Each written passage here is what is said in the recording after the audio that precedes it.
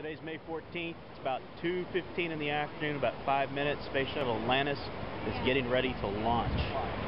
We are sitting here at the beach, uh, Cape Canaveral, and we're going to go see what things look like. Oh man, all you see is about 100 feet of flame and a big contrail behind it.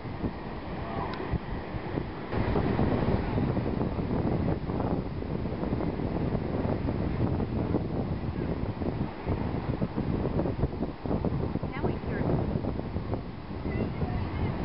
I can hear it. I can hear Yeah. I can hear it now.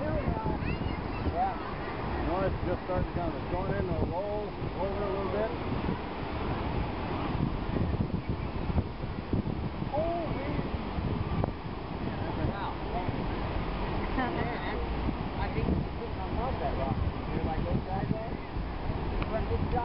Yeah, you can hear it now.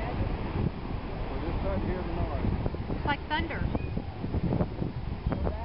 Here it comes, Here it comes three minutes after launch.